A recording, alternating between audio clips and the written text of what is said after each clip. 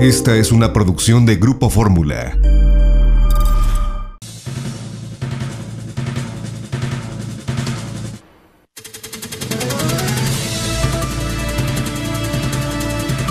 López Dóriga. Periodismo de experiencia, el análisis, las primicias, entrevistas con los protagonistas de la noticia.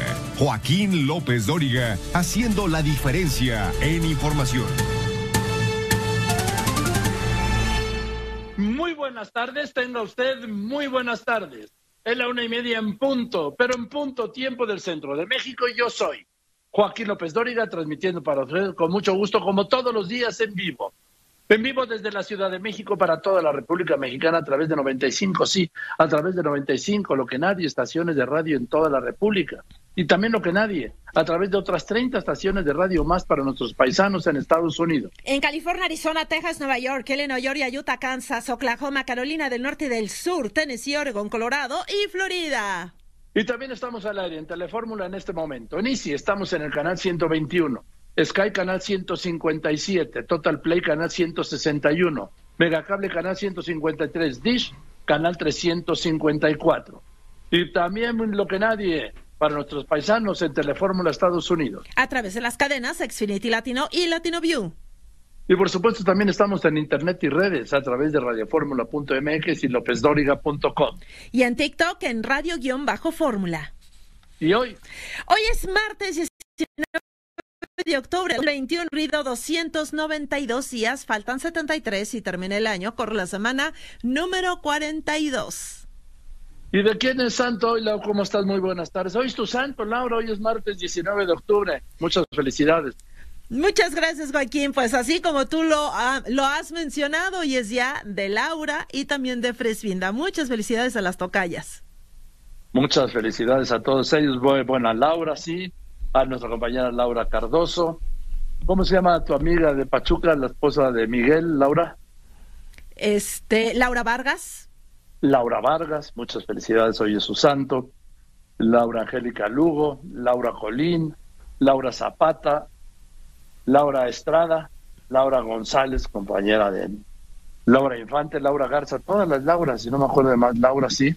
Hoy es cumpleaños de Bárbara Jacobs, muchas felicidades, Bárbara, muchas felicidades de Paco Barradas también felicidades, de Pepe Carreño, muchas felicidades, de la gran Verónica Castro Vero, muchas felicidades vecina. Hoy en tu cumpleaños también es cumpleaños hoy de César Bono. Y si todo esto soy Lau, que es martes 19 de octubre, nos quiere decir Laura Pérez Lineros, me da mucho gusto saludarte como todos los días. ¿De quién va a ser santo? Mañana ya miércoles y 20, 20 de octubre. Así es, Joaquín, mañana celebra su santo Feliciano, Aureliano, Artemio e Irene. Muy bien, pues saludo a todo el equipazo. Hola, ¿cómo estás? Muy buenas tardes, María Dolores Colín, Karina Macías, María Elisa Carreño, Sandra Jiménez, José Juan Padrón, el ingeniero Víctor Malpica, Fernando Robles, Alex Gasca, Óscar Satarán, Gina Trejo Briseño. Saludos a Salvador Escobar. En Telefórmula la saludo. Ana Berta Coronado, muy buenas tardes. Alonso Mancera, Diana Chávez Piña, José Antonio Méndez, Javier Mejía, Miguel Ángel Sánchez Telles, Dino La Corona y bueno, pues esto, esto es algo de lo más importante que ha ocurrido y que está ocurriendo en este momento. Y ha ocurrido en México y en el resto del mundo con mucho, pero que es muchísimo de todo lo que usted leerá prácticamente todo y escuchará mañana por la mañana y sin duda leerá y escuchará y verá en el correr de las próximas horas. Marcelo Ebrard reaccionó al anuncio de la Fiscalía Capitalina de imputar cargos criminales a funcionarios de pasadas administraciones por el colapso de la línea 12 del metro. Dijo que cuando fue jefe de gobierno, en cuya gestión se construyó e inauguró la línea dorada, actuó de forma íntegra y, profesional y que hizo lo que tenía que hacer. En México, el 65% de la población adulta considera inseguro vivir en su ciudad de acuerdo al INEGI. ¿Usted vive seguro en su ciudad? Las ciudades con mayor percepción de inseguridad son obviamente Fresnillo, que es un desastre. Y dice el gobernador David Monreal que es culpa de Felipe Calderón. Ay, de Vicente Fox también. Ciudad Obregón en Sonora, que se ha disparado también. Irapuato, Coatzacoalcos, Naucalpan de Juárez y Zacatecas. Zacatecas es Fresnillo y la ciudad de Zacatecas. Hugo López Gatel afirmó que México se acerca al punto mínimo absoluto de la pandemia Es decir, todo que es disminuir la pandemia y las muertes, ¿sí? México se acerca al punto mínimo absoluto de la pandemia. No, va a llegar al punto mínimo cuando ya no haya contagios, cuando ya no hay un solo contagio ni un solo muerto. Doctor López Gatel un día va a tener que responder por todo esto, insisto. La Cámara de Diputados discute en lo particular la miscelánea fiscal. Contempla la inscripción automática al SAT de los jóvenes de 18 años, todos, aunque no trabajen. También contempla el tope a donativos. El presidente defendió este tope a donativos y señaló que la filantropía no es la función de las empresas. La Sociedad Interamericana de Prensa alertó por las amenazas del crimen organizado contra periodistas en México y por las descalificaciones del presidente López Obrador a comunicadores. Iván Arzate, comandante de la Policía Federal que entregó información tanto a la DEA como a cárteles, se declaró culpable en Estados Unidos de conspirar para distribuir cocaína. Ahora será testigo protegido contra el que fuera su jefe, Genaro García Luna. Hoy, 18 de octubre, es el Día Internacional de la Lucha contra el Cáncer de Mama. Un mal evitable, pero que el año pasado mató en México a 7.800 mujeres que no debieran haber muerto. Y en el resto del mundo. Rusia registra el peor récord de muertes diarias por COVID al sumar 1015 después de que comenzó la pandemia impune duras medidas. Advierte la OMS que de no fortalecer redes sanitarias y una cobertura será más lenta la recuperación social y económica. Ecuador está en estado de excepción por el disparo de homicidios, violencia, tráfico y consumo de drogas. Inicia en la Florida la Asamblea General de la Sociedad Interamericana de Prensa con un duro llamado a respetar la libertad de expresión. En un momento le doy todos los detalles Continúa. Usted lo conoce, lo ha escuchado, visto y leído. López Dóriga, un periodista con cobertura total.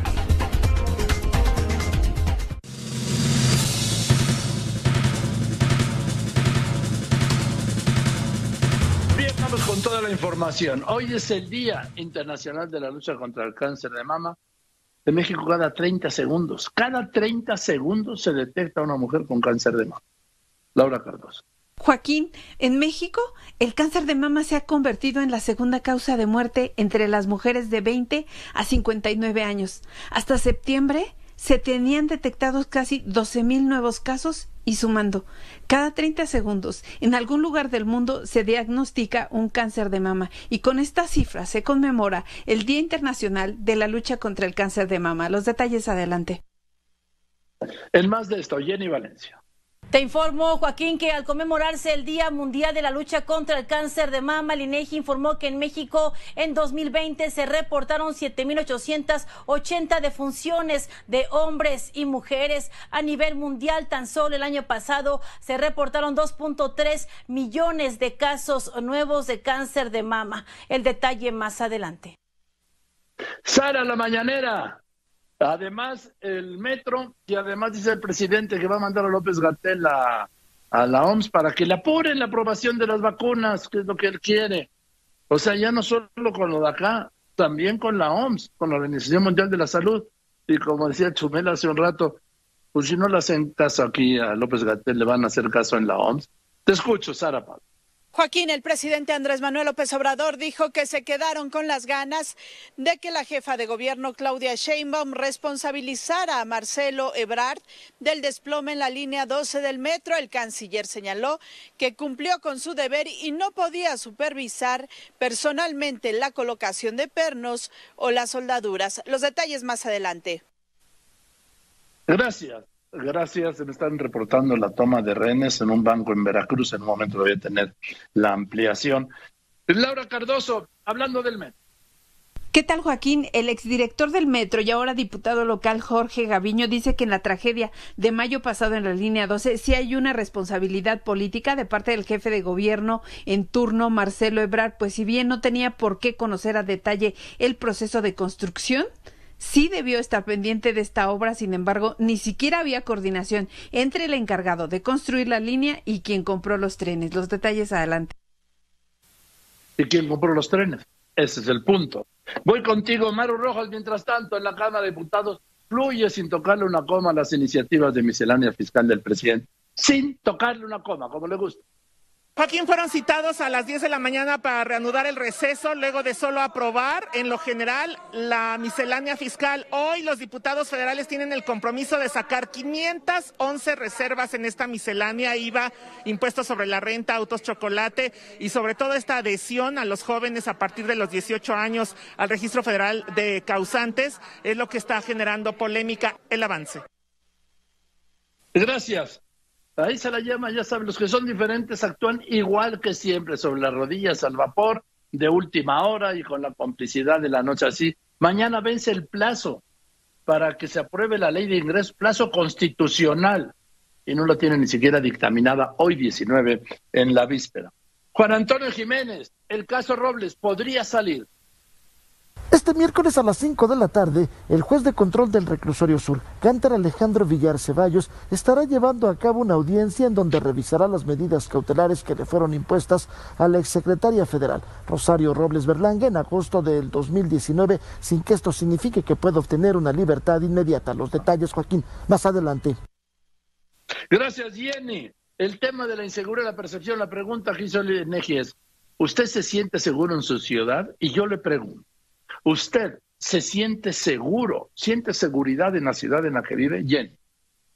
Te informo, Joaquín, que baja la percepción de inseguridad de México durante el mes de septiembre al ubicarse en 64.5%. Sin embargo, de acuerdo con el INEGI, de enero a septiembre de este año aumentó 7.5% la violencia en el entorno familiar. El detalle más adelante.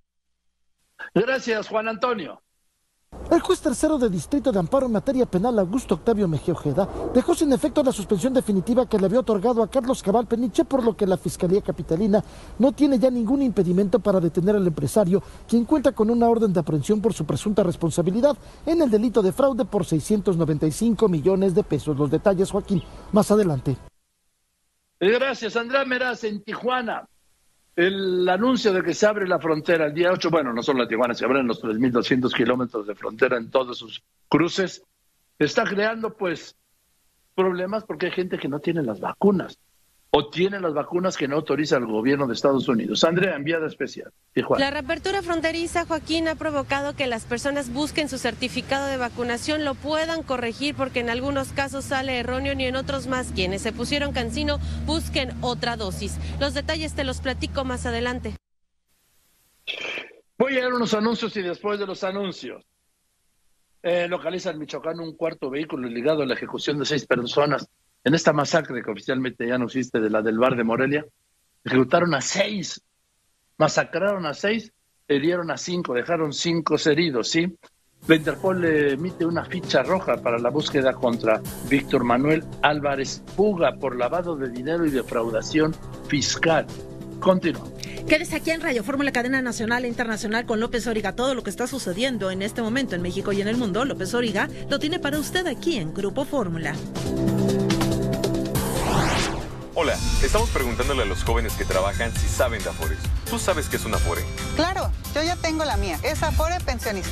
¿Eres derechohabiente? No tienes que ser derechohabiente del ISTE. La Afore es pública, tiene la comisión más baja, cuenta con un programa de incentivos y reparto de utilidades. También te premia por realizar aportaciones voluntarias y tiene rendimientos atractivos. No, pues sí sabe. Entra a la página www.pensioniste.gov.mx e infórmate. Gobierno de México. ¿Quieres saber cómo Víctor González, doctor Simi, pasó de ser almacenista de una farmacia a los 15 años a ser presidente de la cadena Farmacias Similares, la más grande y querida por el pueblo mexicano a los 50 años? Ve el capítulo 3 sobre la vida laboral de Víctor González, doctor Simi, en la exitosa serie Mi vida es lucha, que ya han visto más de 5 millones de personas en televisión y redes sociales. Martes 5.15 de la mañana, Canal 2 de Televisa y Canal 1 de Azteca, ya disponible en redes. Por la palabra Mi vida es lucha.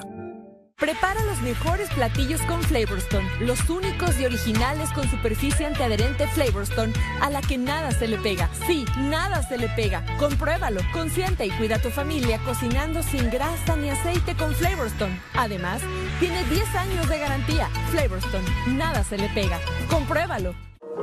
El amor a los gatos es muy poderoso, pero su olor a pipí también.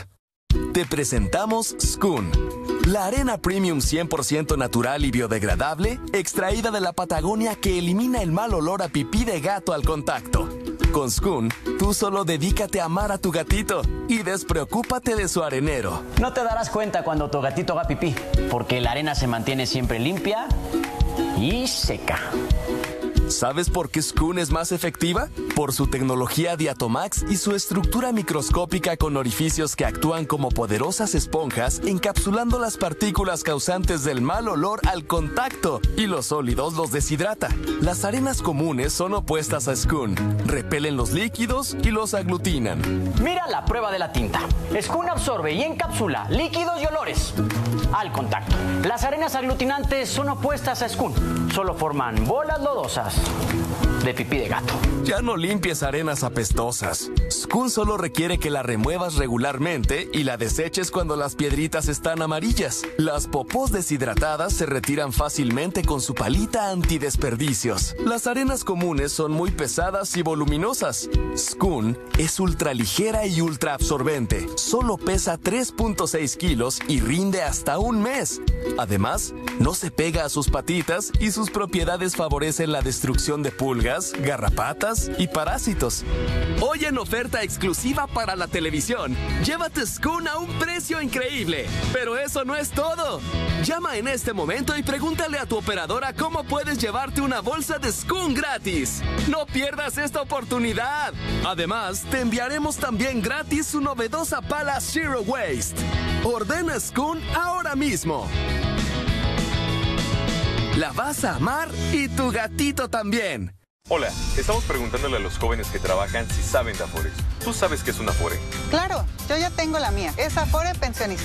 ¿Eres derechohabiente? No tienes que ser derechohabiente del ISTE. La Afore es pública, tiene la comisión más baja, cuenta con un programa de incentivos y reparto de utilidades. También te premia por realizar aportaciones voluntarias y tiene rendimientos atractivos. No, pues sí sabe. Entra a la página www.pensioniste.gov.mx e infórmate. Gobierno de México. Clasificación A. Programa apto para todo tipo de audiencia.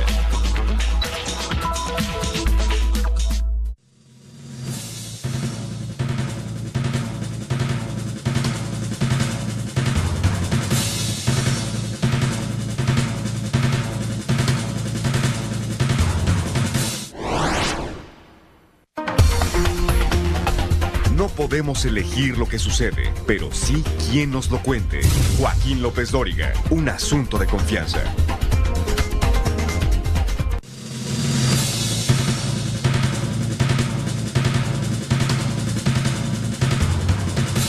Bien, me tengo que informar con tristeza y con pena porque la conocí, la quise y la respeté. La muerte de Celeste Batel de Cárdenas, esposa del ingeniero Cuauhtémoc Cárdenas. Es muy dolorosa, fue su compañera de toda la vida, 58 años de casado, eh, contrajeron matrimonio el 2 de abril de 1963. Su compañera de todas las batallas, una mujer guapa, elegante, distinguida, inteligente, solidaria, siempre presente. Para el ingeniero Cárdenas, un abrazo con mucho sentimiento, nuestro pésame, también para sus hijos, para Lázaro, para Cuauhtémoc y para Camila. Descanse en paz, Celeste Batel de Cárdenas. Mientras tanto, te recupero. Francisco Villalobos por los Estados Unidos, que dijo Ken Salazar. El nuevo embajador de los Estados Unidos en México, Ken Salazar, anunció en su cuenta de Twitter una nueva era de cooperación con México y los Estados Unidos para la lucha contra el COVID-19 y también la mejoría de la salud de ambos países. Los detalles en un instante, Joaquín. Gracias. Mientras tanto, mientras tanto voy a ir contigo ahora, Rocío Galván, Fórmula Tijuana.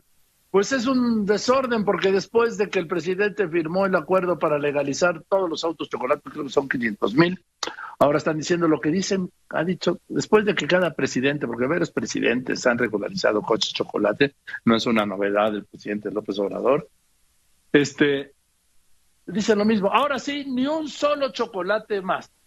Ajá, cómo no. Rocío. Joaquín, luego de que se publicó en el periódico oficial todo lo que tiene que ver con los autos chocolate aquí en Tijuana, eh, lotes y terrenos baldíos eh, que son habilitados para la venta de este tipo de vehículos siguen operando indiscriminadamente. Los detalles te los platico más adelante. Gracias, Oscar Zúñiga. Un año de las inundaciones de Villahermosa, ¿qué ha pasado? Joaquín, a un año de las inundaciones en Villahermosa, Tabasco, los estragos aún siguen presentes y muchas personas todavía no reciben los recursos que les prometieron. Joaquín. Gracias. Voy contigo, ingeniero Alberto Hernández Unzón, jefe de meteorología del Grupo Fórmula. Adelante, ingeniero. ¿Qué tal, Joaquín? La onda tropical número 38 estará ocasionando chubascos y tormentas en Tabasco, Chiapas, sur de Veracruz y península de Yucatán. Actividad para el desarrollo de tormentas con chubascos por el impulso de corrientes ascendentes en Coahuila, Durango, Zacatecas y Jalisco. Culiacán 40 grados centígrados, Tapachula 36, Mérida, Campeche 35 grados, Ciudad de México 25 grados centígrados con incremento de nublados y 70% probabilidad de tormenta eléctrica con chubascos. Joaquín, buenas tardes.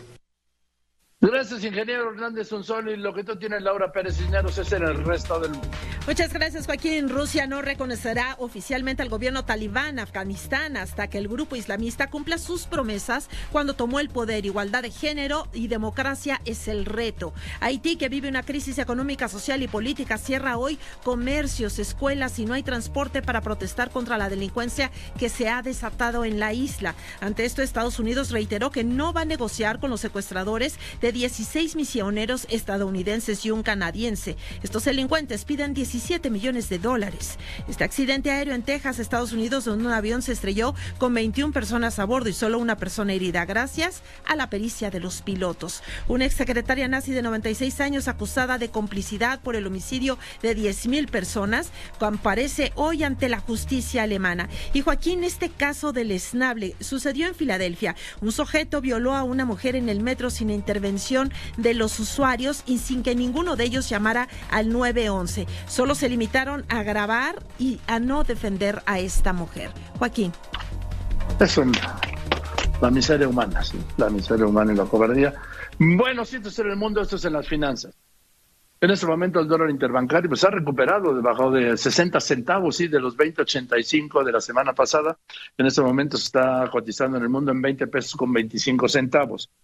En aquí en Ventanilla se vende en 20.59, en los bancos hasta en 20.71. El euro en el mundo, un dólar 16 centavos. En México, un euro se vende en 23 pesos con 96 centavos. Y el petróleo, Jenny Vale.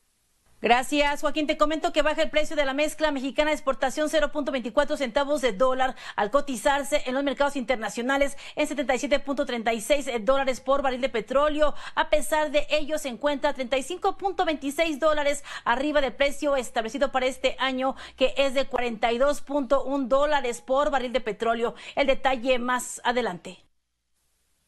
Gracias. Bueno, quiero decirle que eh, un grupo en Cruz Azul, en Veracruz, hay una sucursal bancaria que está tomada por un grupo de gente armada y tiene como rehenes pues a los, clientes del banco, de la sucursal que estaban en ese momento ahí, pero tener más información en un momento. Yo le quiero invitar, como todos los días, a que tenga usted la información en tiempo real. ¿En dónde?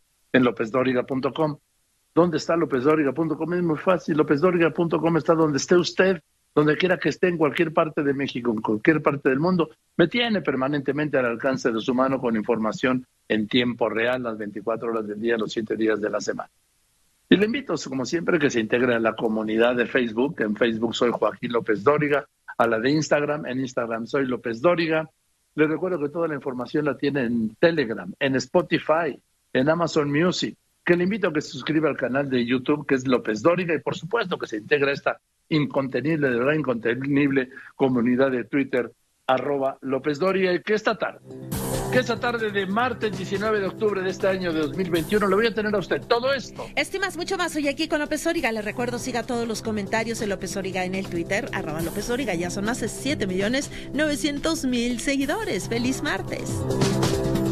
Carlos con su música. Y voy a ir contigo, Carlos Pena. Hoy es martes. El INEGI dio a conocer los niveles de inseguridad y percepción de inseguridad ciudadana. La pregunta es, ¿qué tan inseguro se siente usted en la ciudad en la que vive? Y yo le pregunto a toda la gente, ¿qué tan inseguro se siente en la ciudad en la que vive? Pues yo diría que depende la zona, depende la hora, y luego también a veces depende de uno, ¿sí? Entonces, Carlos Pena, director de TRC. Adelante, buenas tardes. ¿Qué tal, Joaquín? Muy buenas tardes. Así es, como tú bien lo comentas, hoy se presentó la encuesta de seguridad urbana del trimestre septiembre, del tercer trimestre del 2021. 64.5% de los mexicanos se sienten inseguros en su municipio o en el lugar donde viven. Es altísimo el, el, número, estamos hablando de que dos de cada tres personas se sienten inseguras. Sin embargo, Joaquín, quiero decirte que este valor de 60, cerrando número 65% es el mejor eh, número de los últimos ocho años. En promedio, los números andaban sobre 70% de, de percepción de inseguridad y hoy con 64.5 es el mejor trimestre de los últimos ocho años que tiene registro el INEGI, Joaquín. Estamos hablando que con respecto a junio pasado, eh, mejora en dos puntitos. La percepción de junio era 67, hoy baja a 65. Y con respecto a hace un año, la percepción era de 68, hoy baja a 65, tres puntos, mejora. Eh, muy mal la percepción aún en México, pero parece que está mejorando poquito, por lo menos en este tercer trimestre, Joaquín. Si lo comparamos por año, en el 2019, en, el año, en este sexenio del presidente Andrés Manuel López Obrador, la percepción andaba en 73% de inseguridad. En 2020, en 70%. Y hoy el promedio de estos tres trimestres en 2021 es 66%, Joaquín. Parece que va mejorando. Sin embargo, siempre vamos a encontrar diferencias muy claras entre hombres y mujeres. Ya lo platicamos algunas semanas atrás. Las mujeres siempre se sienten más inseguras que los hombres. Las mujeres llega a este número a 69% de las mujeres en México se sienten inseguras contra 59% de los hombres que se sienten inseguros en este momento en México. Por entidades hay cosas y datos de verdad, de verdad sorprendentes. Por ejemplo, ¿cuál es la entidad o el estado que, en donde se percibe mayor inseguridad? Y no te va a sorprender el, nombre, Joaquín. Zacatecas. 89% de, de, las personas en Zacatecas se sienten inseguras. Nueve de cada diez zacatecanos, tal cual, ese es el dato que proporciona el INEGI hoy, se sienten inseguros. ¿Cuál es la entidad donde menos inseguros se sienten? Baja California Sur, Joaquín. Solo uno de cada cuatro, 25% se siente inseguro en lo que es en el estado. Y sin embargo, si nos encontráramos o nos centráramos en los municipios donde se presentan 90 municipios, el INEGI encuesta 90 municipios, ¿cuál es el municipio donde se sienten más inseguros? Tampoco te va a sorprender, Joaquín, Fresnillo, Zacatecas, seguido de Ciudad Obregón e Irapuato. De hecho, Zacatecas concentra en el top 5 de los peores, concentra dos, Fresnillo y Zacatecas. Es decir, Zacatecas está en un mal momento, por lo menos en percepción de inseguridad. Recordemos que esta encuesta lo que mide es la percepción, aunque luego si nos vamos a medir los homicidios, que eso ya no es percepción, ya son números duros, también Zacatecas ha crecido mucho en materia de homicidios, extorsiones y secuestros. ¿Cuáles son los municipios que se sienten más seguros? San Pedro Garza García Nuevo León, Benito Juárez en la Ciudad de México y Los Cabos en Baja California son las entidades, o perdón, los municipios donde eh, mayor eh, percepción de seguridad se, se, se, siente. Hay otros, por ejemplo, San Nicolás de los Garza, La Paz, Saltillo, Puerto Vallarta es un municipio, 68% de las personas en Puerto Vallarta, destino turístico, se sienten seguras en ese destino. Tampico, Santa Catarina y Apodaca, prácticamente cuatro del estado de Nuevo León son, están dentro del top 10 de municipios más seguros, Joaquín. Pero dime una cosa, en el caso de Zacatecas, que es dramático, cómo se ha disparado por la impunidad, eh, la delincuencia, por la inseguridad por el crimen organizado, ¿sí? Fíjate, un estado tan pequeño tiene los cinco peores municipios en percepción de inseguridad. En primer lugar, Fresniño, que además está totalmente acreditado, y en el quinto lugar está la ciudad de Zacatecas, Así es, Zacatecas concentra en el top 5 dos de los peores. Y Zacatecas, no muy lejos de, en percepción de, de, Fresnillo, querido Joaquín. Estamos hablando de que en Fresnillo el 94% se considera inseguro. Prácticamente todas las personas, todos los habitantes de Fresnillo se consideran inseguros. Y en Zacatecas el 86%. Pues prácticamente estamos hablando de 9 de cada 10, cerrando porcentajes. Recordemos que al final son porcentajes, una encuesta del INEGI. 9 de cada 10 personas en Zacatecas se siente inseguro en este momento. Pero no hay problema, porque ya dijo el nuevo gobernador David Monreal, que es culpa de Felipe Calderón. Bueno, pues parece que eh, habría que preguntarle a la gente, pero por lo menos en este momento la percepción de inseguridad es grave en Zacatecas. ¿Algo más, Carlitos? No, nada más recordar que estos datos ya están disponibles a partir de este momento en lópezdoriga.com, mi querido Joaquín. Gracias. Maru, gracias Carlitos Pena, director de TRC. Nos vemos el viernes con el viernes de la pandemia. Eh, voy a ir contigo, Maru Rojas. Anoche, pues eh, se aprobó todo lo que mandó el presidente en la Cámara de Diputados sin tocarle una coma, como a él le gusta, todo. Y así va a ser el resto de la miscelánea fiscal y así va a ser la ley de ingresos, porque Morena tiene la mayoría simple suficiente en la Cámara de Diputados y en el Senado para aprobar, para convertirse, pues, en oficialidad de parte. Un trámite, que lo apruebe el Congreso. Te escucho, Maru. Sin cambios ni en Comisión de Hacienda aprueban diputados federales solo en lo general y solo el dictamen de miscelánea fiscal ya en el Pleno. Se trata de solo uno de los dictámenes que integran la ley de ingresos, pero es el que más afecta a la población ya que incluye la política fiscal con impuestos como el de valor agregado al que se suman nuevos contribuyentes, todos los mayores de 18 años a partir del 2022 al SAT. Sucur dará al fisco la señal de quién debe estar ya registrado en el Registro Federal de Contribuyentes, pero defienden Morena y aliados que no es cacería de brujas es el presidente de la Comisión Dictaminadora de Hacienda, el verde ecologista Luis Armando Melgar.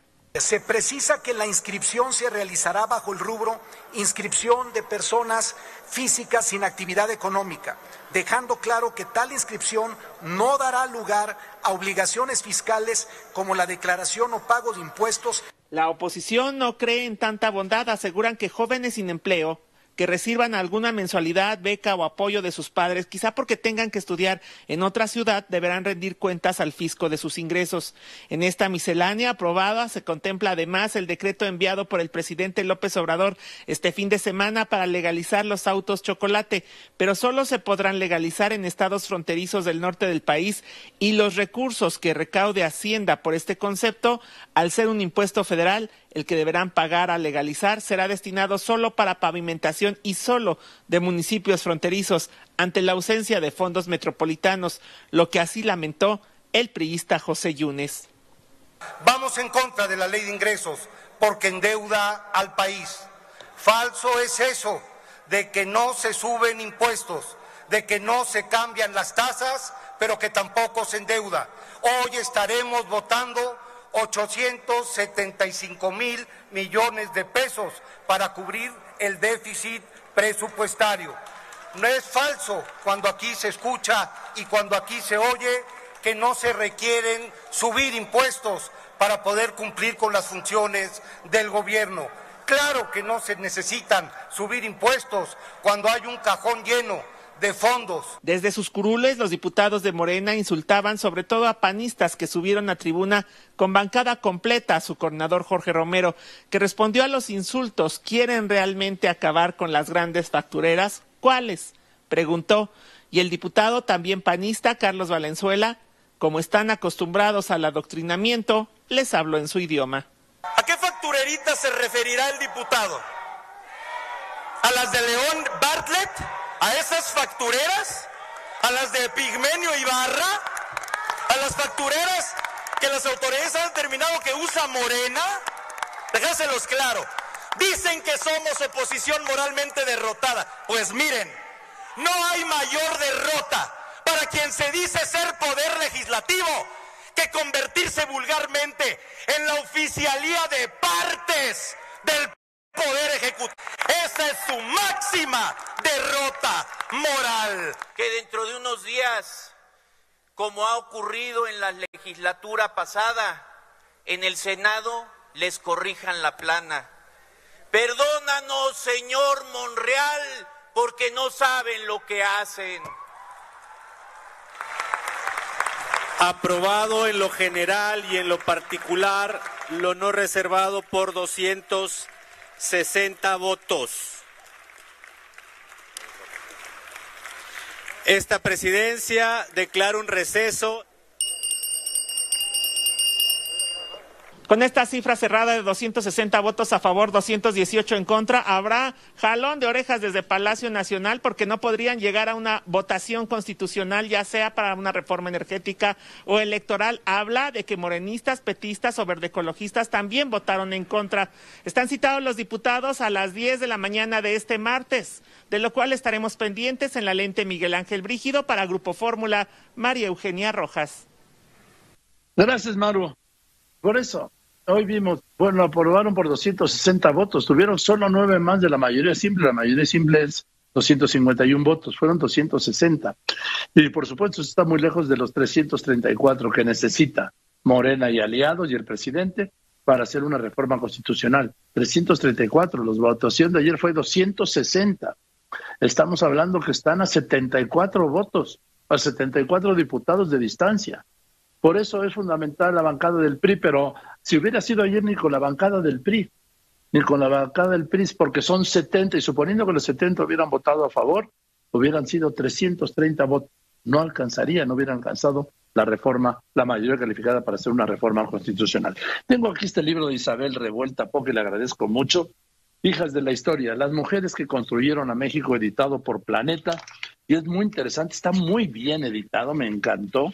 Y entonces habla de las mujeres, déjenme recuperarles, del México prehispánico y la conquista Malintzin, ¿sí? Del México, Villa, del México virreinal, la China poblana y Sor Juana Inés de la Cruz. De la Guerra de la Independencia, la Güera Rodríguez. Del México independiente, la Marquesa de Calderón de la Barca y Concepción Lombardo de Miramón. Del Porfiriato, Revolución del siglo XX, Carmen Cerdán, Antonieta Rivas Mercado y Dolores del Río. Muchas gracias. Gracias Isabel Revuelta por muchas felicidades. Voy a unos anuncios después de los anuncios. El presidente esta mañana que se van a quedar con las ganas los que quieren un pleito entre Claudia Sheinbaum y Marcelo Ebrard. Pues están cocoreando, ¿sí? ¿Por qué? Por la línea 312 del metro. Eh, quiero decirle que en un momento voy a hablar también con Ofelio Medina. ¿Por qué? Por el tema de que se abre el jueves el armario de Gabo y Mercedes Marcos. ¿A beneficio de qué? Del fideicomiso de los niños indígenas de Ofelia Medina. Continúa. Quédese aquí en Radio Fórmula Cadena Nacional e Internacional con López Origa. Recuerde que López Origa es su mejor compañía. Bueno, pues ahí está Gilberto Santa Rosa. ¿A dónde vamos a parar, como dice el Buki? Bueno, le hablaba usted del caso de la sucursal bancaria en Cerro Azul, donde delincuentes tenían retenidos a ocho clientes. Ya rescataron a los ocho clientes, a los ocho rehenes. ¿Sí? En este intento de robo con violencia registrado en esta sucursal bancaria allá en Veracruz, en Cerro Azul, Veracruz. Ya rescataron a los rehenes y es una gran noticia. Y hoy es martes, es martes del doctor José Antonio Lozano Díez, el presidente de la Junta de Gobierno de la Universidad Panamericana y del, y del IPADE. Querido, querido José Antonio, ¿cómo estás? Muy buenas tardes. Hola, querido Joaquín, ¿cómo estás? Muy buenas tardes a ti, a todo el auditorio. Todo dar, gracias. Bueno, Joaquín. Venga, ¿de qué? ¿Qué tema traes hoy, José Antonio? Pues mira, Joaquín, después de la semana pasada, traigo una pregunta, Joaquín. Una pregunta que Ah, me parece para todos importante. Joaquín, ¿Somos ahora más violentos? La humanidad, Joaquín, está siendo ahora más violenta de lo que era hace algunos años. ¿Qué es lo que pasó durante la pandemia? ¿En qué estado nos encontramos? ¿Y qué ha pasado durante los últimos años? Pues fíjate, Joaquín, que de acuerdo con el índice de paz global, parece que en los que se publicó recientemente, parece que en los últimos años la violencia se ha incrementado en todo el mundo. Ahí, quizás recuerdes, aparecía México en el lugar 140. Y fíjate, Joaquín, los datos son impresionantes. De acuerdo con este índice, el aumento del 1% en el índice de paz equivale a un aumento del 3% en el Producto Interno Bruto de un país. Ese es el nivel de lo que significa la violencia. El deterioro de la paz el año pasado nos costó como humanidad dos mil dólares por habitante de la Tierra, Joaquín. Dos mil dólares por cada una de las personas que vivimos en el planeta. Y aquí entonces la pregunta es, ¿estaremos entrando al momento de mayor violencia de los últimos tiempos? Pues fíjate que de acuerdo con el sociólogo Steven Pinker, estamos, curiosamente, aunque ha aumentado la violencia, viviendo como época de hace algunas décadas, la más pacífica de la historia de la humanidad, a pesar de las guerras, de los momentos tan complicados que hemos pasado, desde el siglo XV ha disminuido permanentemente la violencia en el mundo. De acuerdo con estudios históricos, la tasa de homicidio por cada 100.000 habitantes era de 40 en el siglo XV, mientras que hoy promedio global es de 6. Claro, hay una gran desigualdad en las cifras, mientras que en Honduras el año pasado fue de 37, en 2011 fue el país más violento del mundo, tuvo una tasa de 93.2, en Japón es solo del 0.2%. En México estamos ahora en niveles alrededor del de 28. La violencia, Joaquín, sin embargo, es un concepto multifacético. Existen distintos tipos de violencia, además de la física, desde luego está la sexual, la psicológica, muy importante, y la que podríamos decir que es la desatención o privaciones que tienen las personas. En un estudio que se publicó en 2002 por la Organización Mundial de la Salud, se definió a la violencia como el uso deliberado de la fuerza física o el poder, ya sea en grado de amenaza o efectivo contra uno mismo, otra persona o un grupo o comunidad que cause o tenga muchas probabilidades de causar lesiones, muerte, daños psicológicos, trastornos en el desarrollo o privaciones. En esa clasificación, Joaquín, quedan tres tipos de violencia, pues puestos, la violencia que uno ejerce en contra de uno mismo, esa ha aumentado, por ejemplo, la tasa de homicidios ha crecido sobre todo el año pasado en el tiempo de la pandemia de manera importante en algunos países, la tasa de la violencia en las comunidades, y ahí está contemplada, Joaquín, la violencia intrafamiliar y la violencia que se ejerce en los países contra grupos muy generales en los países. En el caso de la violencia intrafamiliar, hay muchos indicios de que esta aumentó de manera muy importante durante la pandemia. No hay todavía cifras claras, son difíciles de conseguir, pero ya antes de la pandemia, por ejemplo, la violencia doméstica contra las mujeres a nivel global era una de cada tres en todo el mundo, Joaquín. Pues estos son los datos de la violencia en el mundo, pero yo quisiera plantearte y plantear al auditorio el tema de la violencia desde un punto de vista más profundo, un punto de vista de lo que ocurre en el interior de las personas. El ser humano, Joaquín, y esto es lo, lo verdaderamente paradójico, es, de sí, es por sí mismo eso, un ser paradójico. Tenemos una naturaleza en la cual hay una parte física, humana, y hay otra parte que es mental, espiritual. Normalmente, esas dos partes ejercen una tensión dentro de nosotros. Muchas veces cuando nosotros queremos hacer algo, por ejemplo, hacer ejercicio, levantarnos más temprano, etcétera, tenemos que generar un esfuerzo de la voluntad que muchas veces nuestra propia naturaleza física nos lo impide. Si nosotros nos dejamos, si no luchamos, si no nos hacemos una especie de violencia interior, no alcanzamos esos fines que en la vida tenemos. Los seres humanos, por ese sentido paradójico interior, nos tenemos que violentar interiormente para alcanzar metas. tenemos que esforzarnos, Joaquín, para alcanzar esas metas. Y curiosamente, Joaquín, esa violencia interior produce la paz, una paz y un equilibrio dentro de nosotros. Cuando no damos esa batalla interior, cuando no damos esa violencia interior para conseguir las metas, entonces nos volvemos seres violentos hacia afuera, Joaquín. La violencia siempre es un reflejo de las circunstancias interiores de la persona. Y en este punto me parece muy importante entender que alcanzar la paz interior supone ese esfuerzo. Es una actividad que de alguna manera tenemos que estar haciendo permanentemente como personas.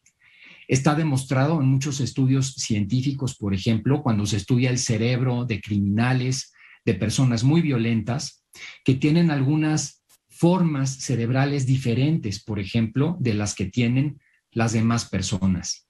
La corteza prefrontal, que es donde se toman las decisiones, donde pasan las emociones, la tienen poco desarrollada. La amígdala, que es un órgano cerebral, lo tienen también disminuido.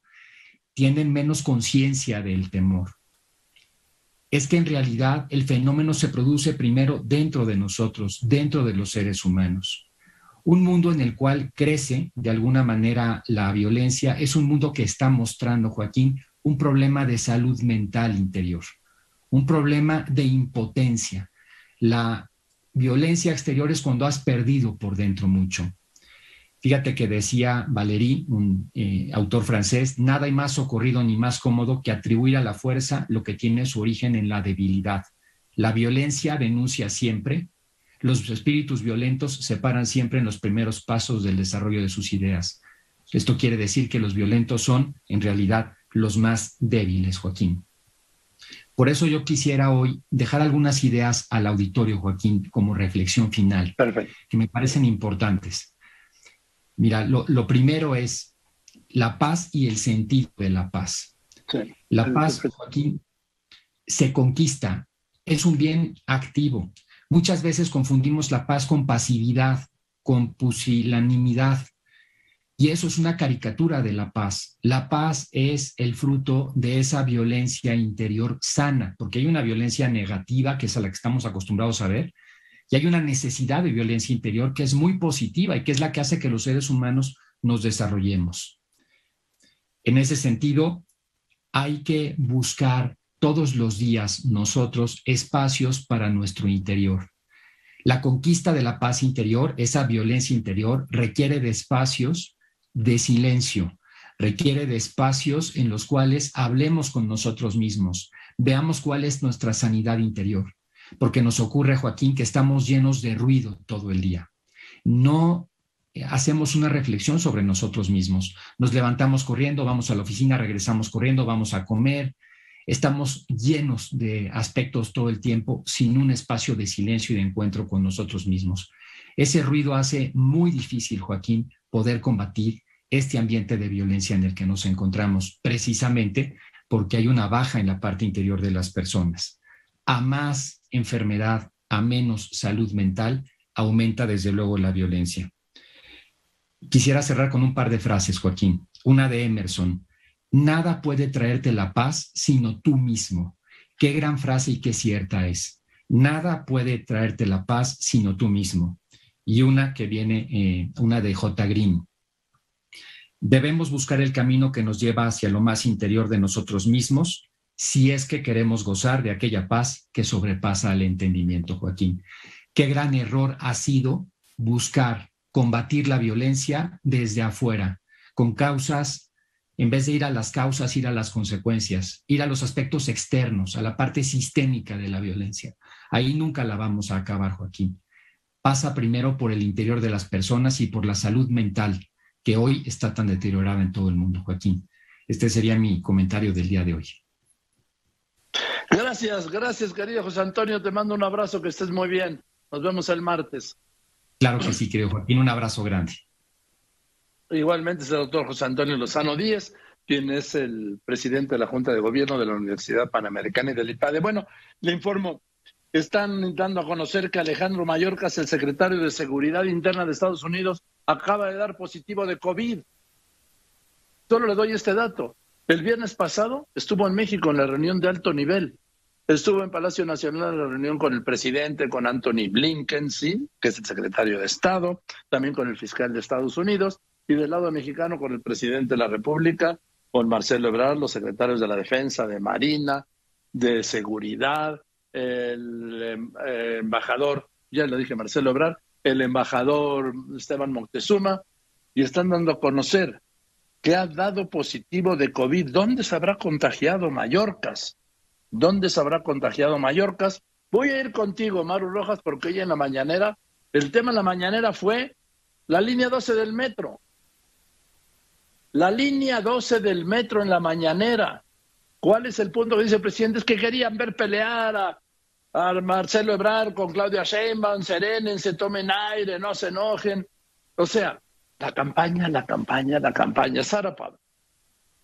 Caso del desplome en la línea 12 del metro que provocó la muerte de 26 personas. El presidente Andrés Manuel López Obrador aseguró que no existe el propósito de proteger a nadie y se quedaron con las ganas de que la jefa de gobierno Claudia Sheinbaum responsabilizar al hoy canciller y entonces jefe de gobierno Marcelo Ebrard.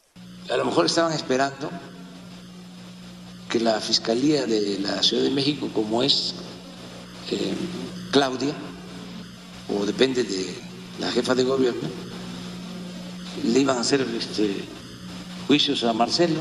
Una confrontación política. ¿eh? Sí, sí, a lo mejor estaban esperando eso.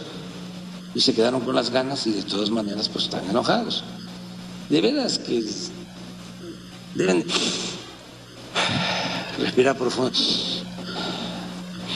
Ejercicios de respiración son buenísimos este, para no enojarse, estar sereno siempre, tranquilo.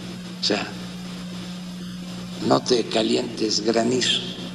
Sobre la resolución de la Fiscalía de la Ciudad de México que acusa a 10 exfuncionarios, Marcelo Ebrard recordó que algunos de los ahí mencionados ya enfrentaron y ganaron procesos judiciales cuando Miguel Ángel Mancera era jefe de gobierno. Cuestionado sobre si no se siente responsable por la mala construcción, respondió que no podía supervisar personalmente cómo se pusieron pernos. Argumentó que él cumplió con su deber. Se hicieron las cosas de manera correcta con una licitación internacional que ganó ICA. Se trabajó con empresas reconocidas con certificación a cargo de uno de los grupos internacionales con más prestigio. La participación del Instituto de Ingeniería de la UNAM del Instituto Politécnico Nacional y supervisión a cargo de uno de los ingenieros más destacados de México, Alejandro Vázquez Vera. Lo que vi la semana pasada es que se pusieron o no se pusieron pernos o que estaba mal una soldadura. Yo creo que el jefe de gobierno es muy difícil que pueda supervisar eso personalmente. Para eso se creó un organismo muy grande que se llama Proyecto Metro, que tenía autonomía técnica y financiera. Yo hice lo que tenía que hacer. Si no, no estaría aquí. No podría yo dar la cara actué profesional y de una manera íntegra. El presidente de México respaldó la ley de ingresos aprobada en la Cámara de Diputados.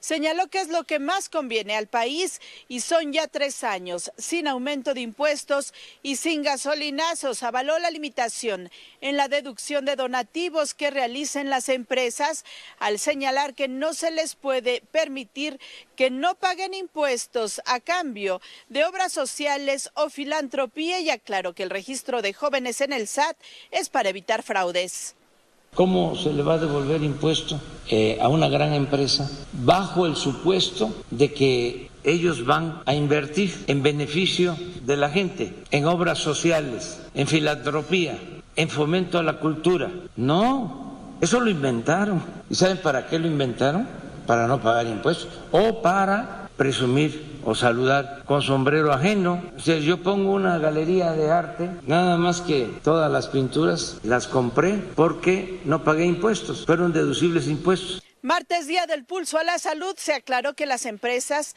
no están facultadas para exigir a los trabajadores la presentación del certificado de vacunación contra el COVID. El presidente López Obrador ya prepara una carta que enviará a la Organización Mundial de la Salud para insistirle en que certifique todas las vacunas que han demostrado que funcionan. Dijo que quizá no lo han hecho por ineficacia o desidia. Yo entiendo que en Palacio las cosas caminen despacio, pero no lo acepto en ninguna otra parte. Se informó que la campaña de vacunación contra la influenza iniciará el 3 de noviembre. Con imágenes de Oscar Jiménez en Grupo Fórmula, Sara Pablo. Gracias, Sara. Gracias, Sara. Sí, el presidente dice que que las empresas no se deben dedicar a la filantropía. Yo creo que no es excluyente, pero bueno, eso es lo que opina el presidente y eso es lo que está haciendo además su bancada, la bancada de Morena y sus rémoras, sus aliados, ahí en tanto en el Congreso, le digo, tanto en la Cámara de Diputados como el Senado de la República. Yo quiero ir a unos anuncios. Bueno, no quiero, pero tengo que ir a unos anuncios, ¿sí? Y le quiero decir que después de los anuncios, la Corte declara inconstitucional la prohibición legal de cigarros electrónicos que están de moda entre los jóvenes. Un juez llega sin afecto el, el amparo que frenaba la orden de captura contra Carlos Cabal Peniche. Niega el presidente del INE que esté operando contra la consulta de revocación de mandato. Pues ahí están los spots en radio y televisión, ¿sí? Indígenas triques mantienen el bloqueo en el lateral del periférico, donde ahí ni se, ocurre, ni se le ocurre para el sur, es un desastre. Es ahí por Luis Cabrera, en la lateral, ahí está la sede de la Comisión Nacional de los Derechos Humanos. Y le reitero, el secretario de Seguridad Interna de Estados Unidos, Alejandro Mayorga, acaba de dar, pues está informando que dio positivo de COVID. El viernes estuvo en México, en Palacio Nacional, con el presidente, con el gabinete de seguridad, y luego tuvo la reunión en la Secretaría de Relaciones Exteriores con Marcelo Ebrard, que también estuvo, por supuesto, en el desayuno, con el tema este, seguridad y migración. ¿Dónde se habrá contagiado Mallorcas? Continúa. Quédese aquí en Radio Fórmula Cadena Nacional e Internacional con López Origa y le recordamos, no baje la guardia, use cubrebocas, sana distancia. Bueno, aquí está Gilberto Santa y aquí está, aquí está la gran Ofelia. ¿Cómo está, querida Ofelia Medina? Porque bueno, son dos temas. Primero tengo que felicitar por algo que es más que justo, me parece a mí, aunque a veces la justicia no tiene nada que ver con la realidad. Ofelia, tú lo sabes sobradamente, el que se te haya reconocido justa, justamente con este Ariel de Oro a tu carrera de 55 años como actriz. Querida Ofelia, ¿cómo estás? Buenas tardes. Feliz de escucharte, Joaquín. Buenas tardes. Bueno, primero este, me sumo a este reconocimiento, Ofelia, que no necesitas, pero pues no cae mal un apapacho, ¿no? Sobre todo si es de tus pares. Oh, es una maravilla, claro que sí. Me dio mucho ánimo, mucha fuerza y me lo vino a entregar una bellísima joven mujer sobreviviente de la masacre de Acteal, que ahora se dedica a filmar. Entonces fue muy emocionante, muy maravilloso. Me acuerdo, la matanza de Acteal fue un 22 de diciembre de 1997. Sí. Terrible día aquel. Oye, pero ah, bien, esto es un tema y el otro es que hablé con Emilia, la nieta de Gabriel García Márquez y de Mercedes Barcha, el viernes y me contó que este armario que van a abrir de Gabo y Mercedes es todo lo que se venda todo lo que se obtenga es para tu fundación de los niños. Fíjate qué maravilla. Siento mariposas amarillas revolotear en mi corazón. Es una noticia maravillosa porque ya se viene fin de año, las familias desplazadas pasan mucho frío, muchas situaciones muy difíciles y esto es un regalo de vida, de energía y de alegría. Ahora cuéntame, ya me lo contaron todo, es la, la casa de Gabo y hay que hacer la cita. Ya las pueden hacer, me contaron que se saturó el ah. correo, pero pues sí, porque imagínate, ¿quién no quiere tener un recuerdo del inolvidable Gabriel o de la inolvidable Mercedes? Claro, todos queremos. Y yo tengo tantos recuerdos de ellos en vida. Fíjate, mi primera película, Patsy mi amor, el argumento es de Gabriel García Márquez. ¿Cómo crees? No lo sabía. ¿Cómo crees? Y yo los conocí en 1967, cuando apenas iba a salir Cien años de soledad. y Ay, una emoción tan grande, porque bueno, eh, Gabriel era amigo de Manuel Michel, el director de Patsy Mi Amor. Entonces, bueno, en esa época Gabriel y, Mercedes todavía no sacaban el primer libro. Y entonces, fíjate, mirar eso, ¿verdad? Que en este tiempo de vida eh, ellos se convierten en esta fuerza literaria que el Nobel y, y todo y bueno entonces que ahorita después de, de, de, que ya no están físicamente aquí nos dan este regalo por parte de la familia es verdaderamente alentador.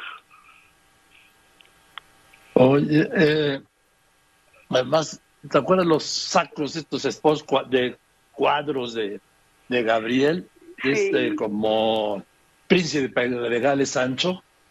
Sí.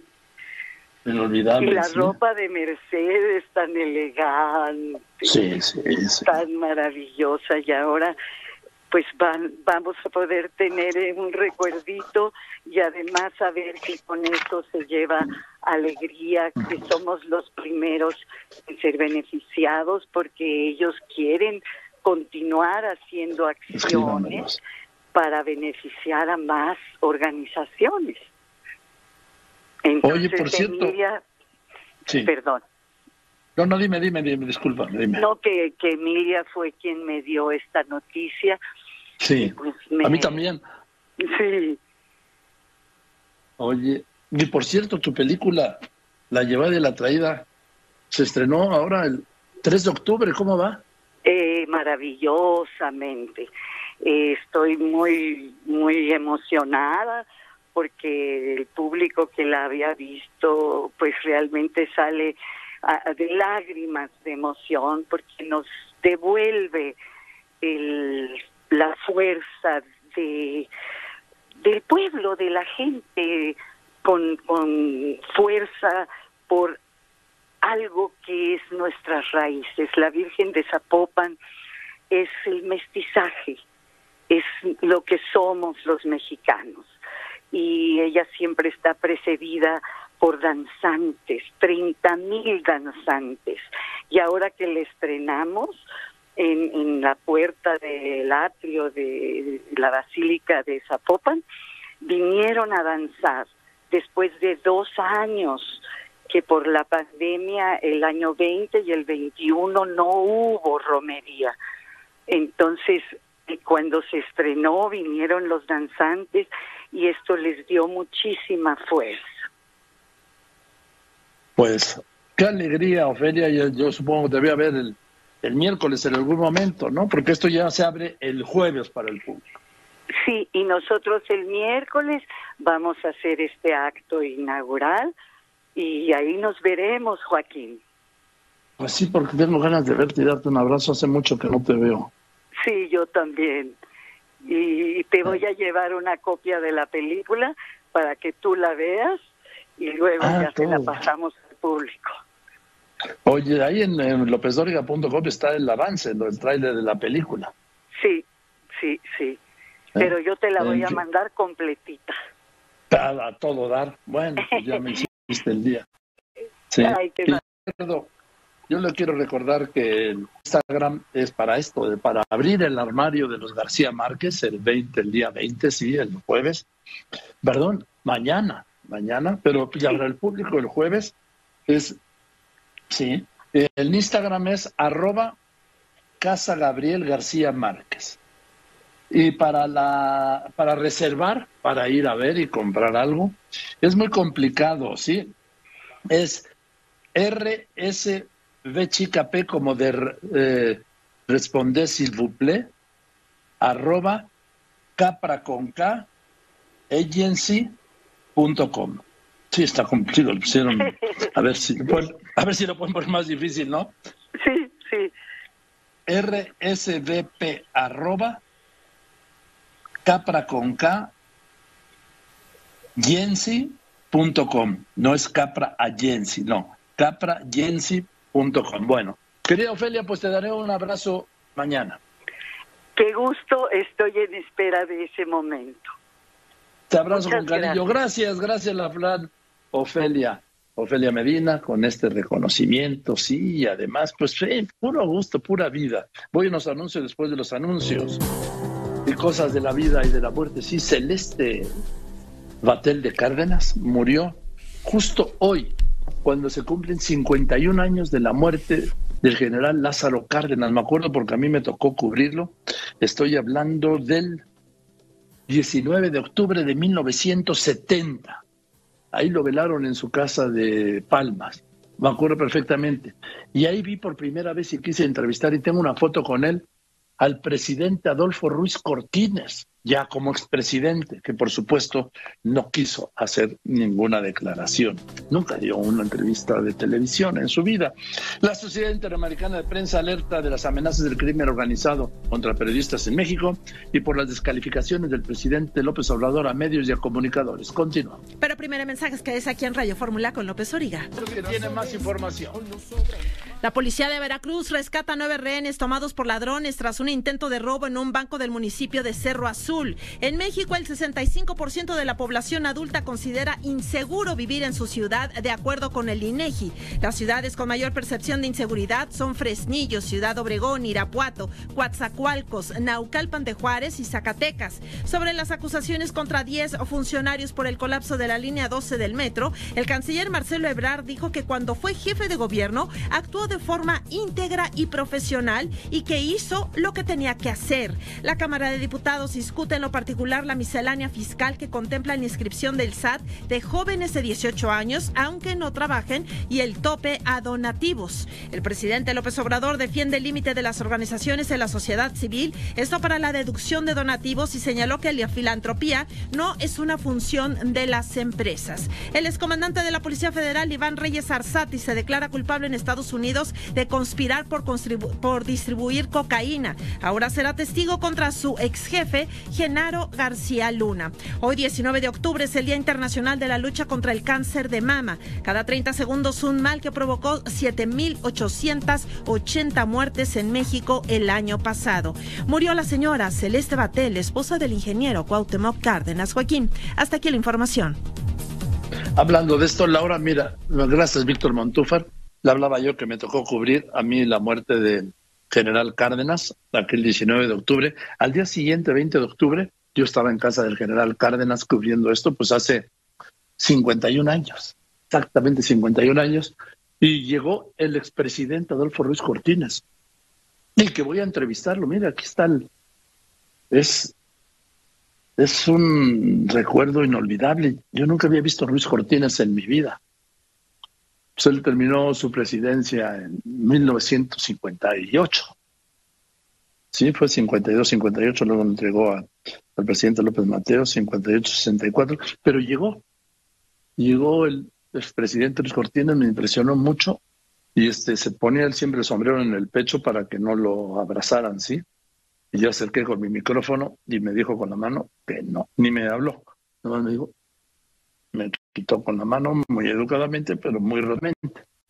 Esta foto tiene 51 años, los 51 años, y un día, los 51 años que tiene de muerto el general Cárdenas. Juan Antonio Jiménez. Gracias, Joaquín. El juez tercero de distrito en amparo en materia penal, Augusto Octavio Mejía Ojeda, dejó sin efecto la suspensión definitiva que le había otorgado a Carlos Cabal Peniche, por lo que la Fiscalía Capitalina ya no tiene ningún impedimento para detener al empresario quien cuenta con una orden de aprehensión por su presunta responsabilidad en el delito de fraude por 695 millones de pesos. Héctor Fernando Rojas Pacheco, juez de control del sistema procesal penal acusatorio, adscrito a la unidad de gestión judicial número 12 del Tribunal Superior de Justicia, notificó que Cabal Peniche no compareció ante dicho organismo jurisdiccional. Por ese motivo, el juez de amparo dejó sin efecto la medida cautelar. Y es que el acuerdo señalaba que se debía agregar el oficio suscrito por el juez de control adscrito a la unidad de gestión judicial número 12, mediante el cual informa que el quejoso no compareció ante dicha unidad al ponerse a disposición de la autoridad jurisdiccional. En virtud de lo anterior, dejóse de surtir efecto la suspensión definitiva que le había otorgado el pasado 4 de octubre. Por otra parte, Joaquín, también te comento que la conductora de televisión Inés Gómez Montt y su esposo Víctor Manuel Álvarez Puga ya son buscados en más de 190 países luego de que la Interpol emitiera la ficha roja para su búsqueda y localización a petición de la Fiscalía General de la República. Gómez Montt y Álvarez Puga, acusados de lavado de dinero por más de 3 mil millones de pesos y defraudación fiscal, están siendo rastreados para detectar su paradero y ser presentados ante la justicia mexicana. Además, ambos son señalados en una investigación que realiza la Fiscalía Especializada en Materia de Delincuencia Organizada de realizar operaciones con grupos delictivos a través de empresas factureras. Joaquín, el reporte. Qué fuerte, qué fuerte. Lo siento mucho por Inés Gómez Mont. Lo siento mucho por ella. Eh, voy a los anuncios. Y después de los anuncios, hoy es 19 de octubre, le decía, por eso esta corbata, Día Internacional de la Lucha contra el Cáncer de Mama. En México, cada 30 segundos es diagnosticada una mujer con cáncer de mama. Cada 30 segundos. En México murieron por esto el año pasado 7.800 mujeres de cáncer de mama. Eso, hay un día clave, mañana, para Rosario Robles. Un juez, la puede, un juez la puede dejar en libertad para que siga desde su casa el proceso que sigue en la cárcel. Lleva más de dos años en la cárcel. Continúa. Quédese aquí en Radio Fórmula Cadena Nacional e Internacional con López Origa, que es su mejor compañía. Se habla mucho de, por supuesto, se tiene que hablar, ¿no? De los homicidios dolosos, más de 102 mil homicidios dolosos en lo que va de este gobierno, del 1 de diciembre de 2018 al día de ayer. Pero hay un punto que es gravísimo. Claro, no todos son de este gobierno, se vienen arrastrando decenas de miles, pero me refiero a los desaparecidos. Hay un registro de 90 mil personas desaparecidas, Héctor Herrera. De acuerdo con cifras oficiales, al día existe un registro de 90 mil personas desaparecidas. Y a tres años de que el presidente Andrés Manuel López Obrador asumiera el compromiso con las familias de dar prioridad al tema, hoy en día, familiares de los desaparecidos afirman que la cifra va en aumento. Virginia Garay, integrante del movimiento por nuestros desaparecidos, asegura que tener a una persona desaparecida es como estar muerto en vida. Busco a mi hijo desde el 6 de febrero del 2018, desaparecido en Nayarit. Para nosotras, todas las víctimas, el hablar de una fecha como este 30 es doloroso, puesto que nos encontramos nuevamente en un año más buscando a nuestros seres queridos. Datos de la Secretaría de Gobernación indican que de los 189.206 reportes de personas extraviadas desde 1965, el 59%, es decir, 112.035 fueron localizadas, aunque 7.082 de ellas sin vida. Al respecto, Michelle Bachelet, alta comisionada para los derechos humanos de la ONU, asegura que la desaparición de personas es aún uno de los problemas más graves que enfrenta nuestro país. Como dijo hace poco una mamá mexicana, este es un día que no debería existir.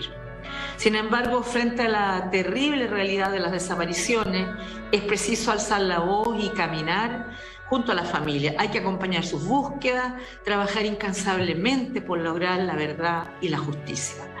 El problema, en efecto, es grave. Sin embargo, se concentra en ocho estados de la República. Jalisco reporta 3.566 casos, Guanajuato 1.216, Tamaulipas 1.206, la Ciudad de México 1.191, Nuevo León 991, Sinaloa 973, Michoacán 735, Veracruz 545, Guerrero 455 y Chihuahua 394. En estas entidades se ubica el 81% de las personas desaparecidas en esta administración. La alta comisionada para los derechos humanos de la ONU y expresidenta de Chile, Michelle Bachelet, sostiene que el mayor desafío que tiene México es poner fin a la impunidad. Familiares y especialistas consideran que no erradicar la desaparición forzada representa una llamada a la repetición. En Grupo Fórmula, Héctor Herrera Reyes. Bueno, el tema de los desaparecidos, de su nombre lo implica, ¿sí? Va a ser muy difícil que aparezcan, entre ellos incluidos, y que me perdonen los padres con todo dolor, los 43 normalistas de Ayotzinapa. Hoy puede ser un día determinante en la vida de Rosario Robles. Hoy podría salir de la cárcel y llevar su proceso en libertad, como por ejemplo lo lleva pues lo lleva Emilio Lozoya. Te escucho, Juan Antonio Jiménez.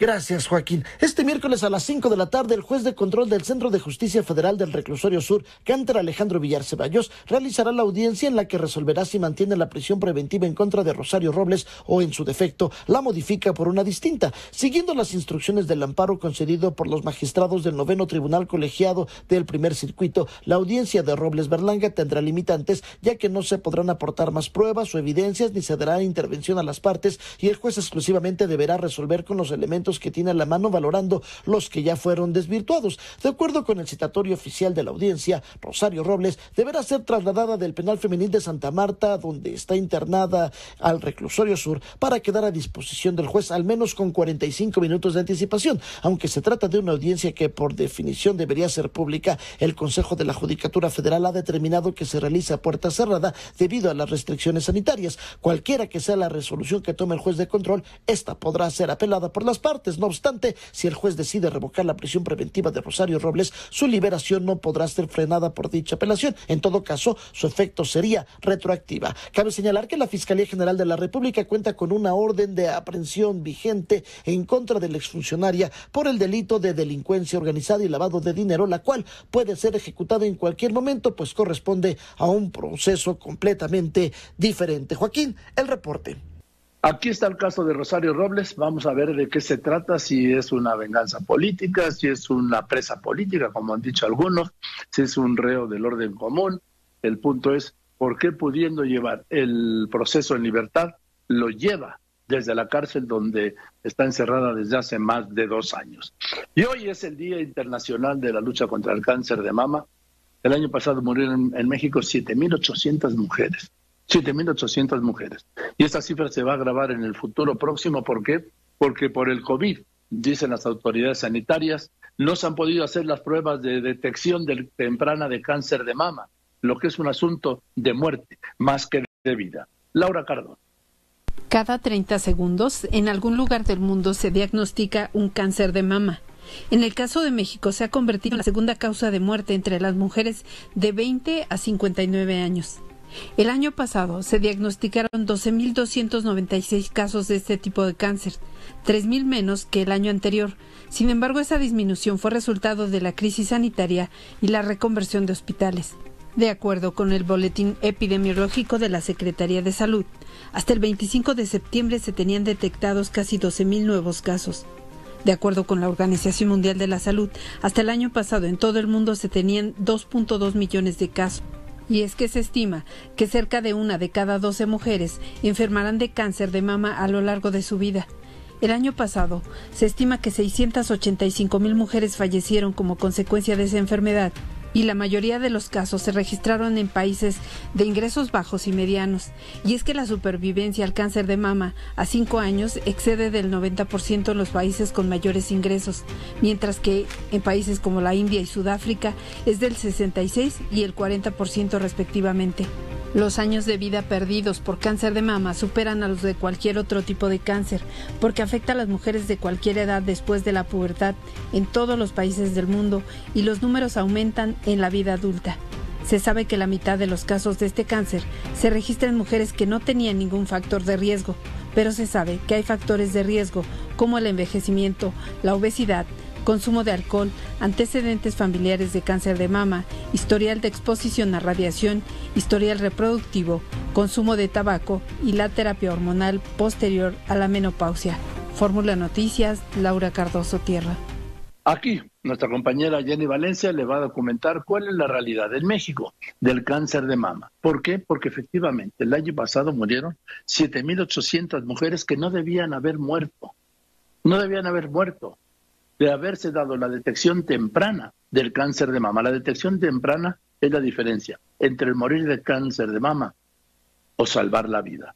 Y hay un retraso, le decía, por el COVID de detección temprana de casos de cáncer de mama, lo que va a ser y será desastroso. Te escucho, Jenny Valen.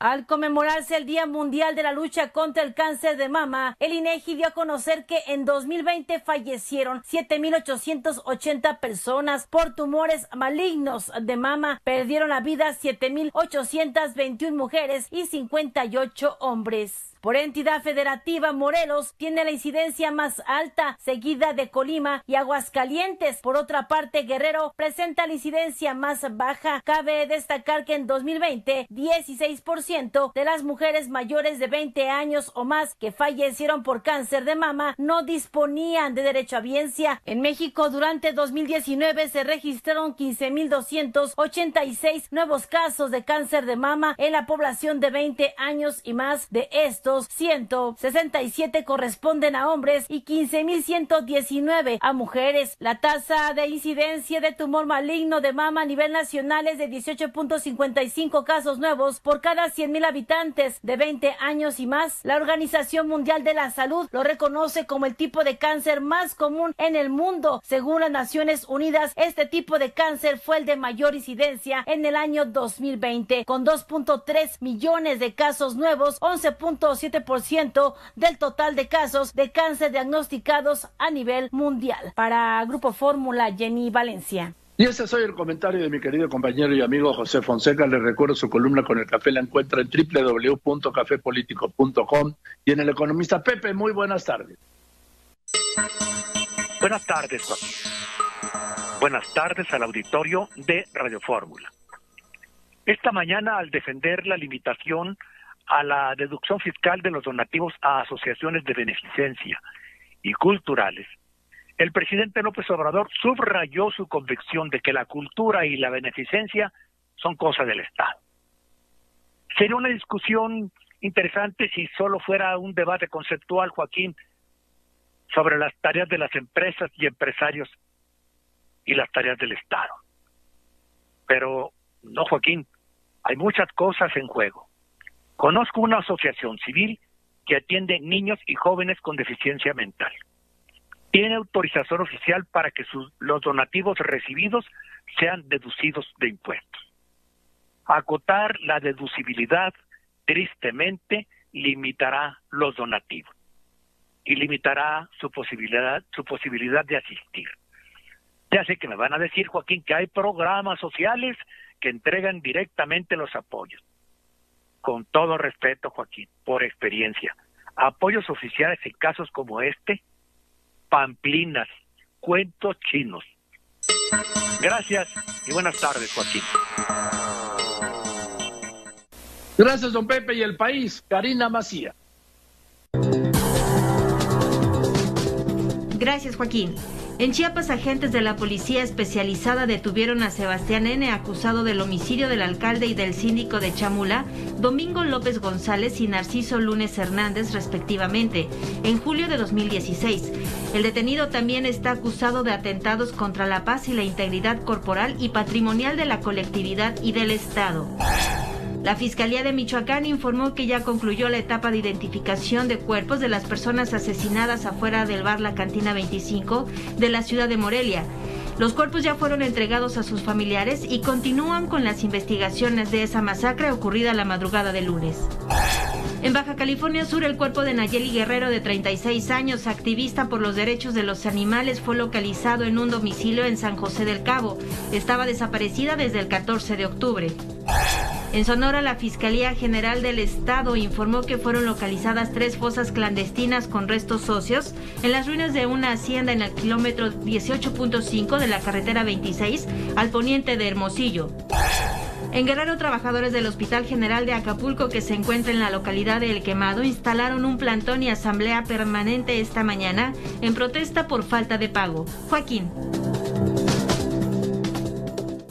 Bien, eso es todo. Muchas gracias. Buenas tardes. Yo soy Joaquín López Dóriga y como siempre le agradezco a usted que me escriba, que me llame, pero sobre todo en especial le agradezco, usted lo sabe y además lo sabe muy bien, que me escuche y ahora que me vea y que me siga en las redes. Gracias pues por eso. Buenas tardes. Lo dejo con Eduardo Ruiz Gili y nos vemos mañana aquí como todos los días a la una y media de la tarde. Recuerde, por favor, cuídese.